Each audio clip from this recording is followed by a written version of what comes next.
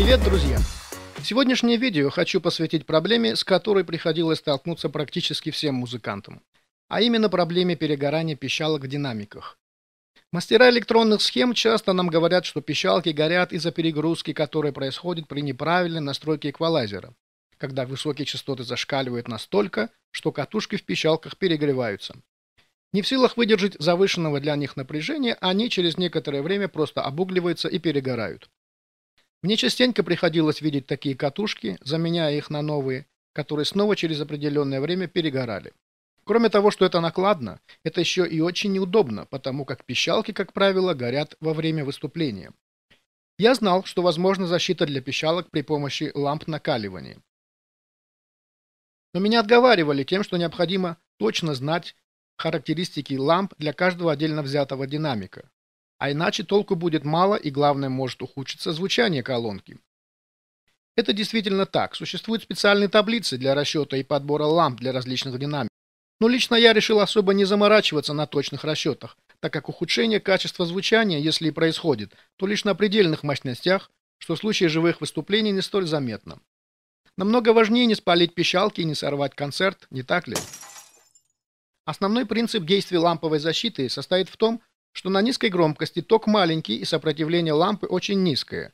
В этом случае лампа практически не оказывает влияния на работу пищалки, а значит и не ухудшает качество звучания. При увеличении громкости ток растет, спираль лампы начинает светиться и, главное, резко возрастает сопротивление спирали.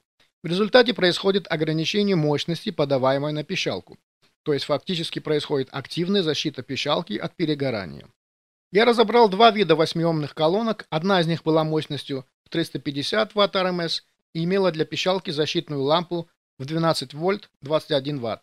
Другая мощностью 500 Вт РМС с лампой 27 вольт и 24 Вт. Восьмиомная колонка, представляемая в данном видео, имеет мощность 340 Вт. Интересующая нас пищалка имеет мощность 50 Вт РМС. И использовал я для ее защиты обычную автомобильную лампу накаливания на 12 вольт мощностью 21 ватт. Кстати говоря, такие лампы я использовал и в другой паре колонок с мощностью пищалок в 40 ватт. Хочу сразу отметить, что особенного ухудшения качества звучания я не заметил, хотя этот вопрос в целом остается спорным для меня, и я спокойно отношусь к возможной критике со стороны людей, имеющих больше опыта в этом вопросе. Итак, покажу на практике все то, что я пытался объяснить выше.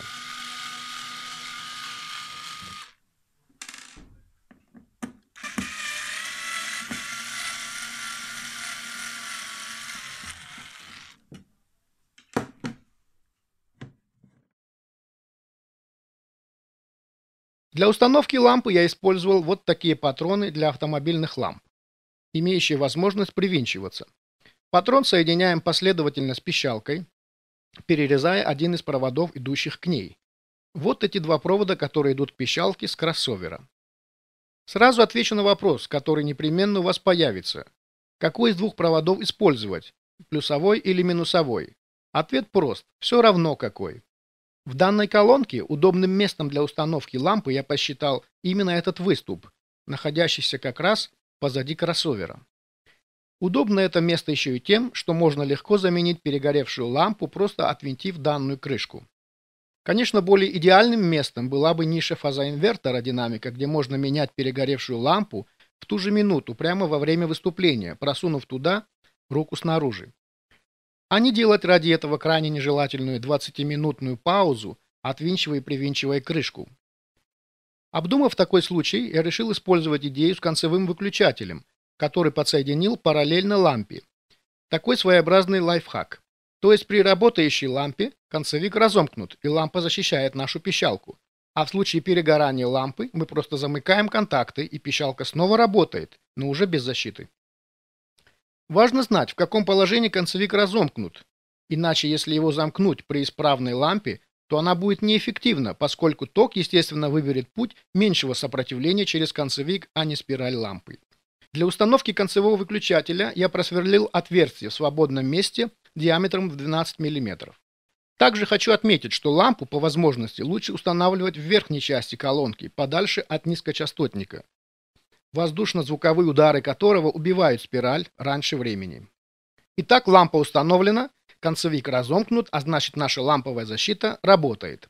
Сейчас включим усилитель на перегрузку высоких частот и протестируем, как спираль лампы берет на себя часть напряжения, защищая пищалку.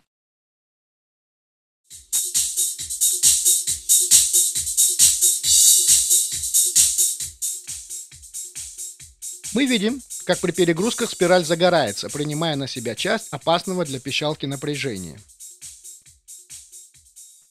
Теперь представим, что лампа перегорела, выкрутив ее. Таким образом, цепь разомкнута и пищалка не работает.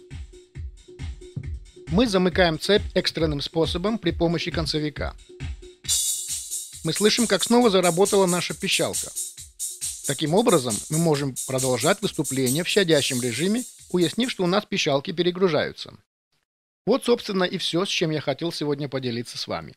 Если эта информация оказалась полезной для вас, не забудьте поставить лайк и подписаться на наш канал. До встречи, друзья!